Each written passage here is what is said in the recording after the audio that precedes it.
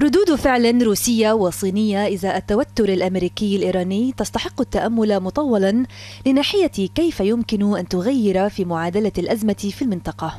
الكرملين يحذر من تصاعد التوتر بعد الإعلان الأمريكي عن إرسال ألف جندي أمريكي إضافي إلى الشرق الأوسط وتدعو جميع الأطراف إلى ضبط النفس من جهته أكد نائب وزير الخارجية الروسي سيرجي ريباكوف أن الخطط الأمريكية لزيادة تواجد قواتها في الشرق الأوسط هدفه التسبب بنزاع مسلح. الروس يعتقدون أن من حق إيران أن تتعامل مع الاتفاق النووي بما يحمي مصالحها وهو موقف يشبه الموقف الصيني إزاء الأزمة بين طهران وواشنطن.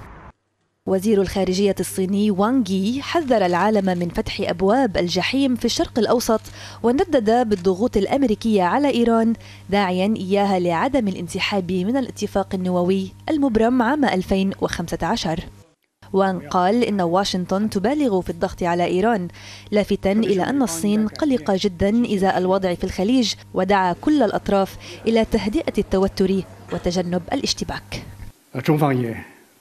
الصين قلقة للغاية. نحن ندعو جميع الأطراف للضغط من أجل تخفيف حدة القضية النووية الإيرانية والوضع في منطقة الخليج بدلا من تركها في حلقة مفرغة أو حتى في اتجاه الصدام.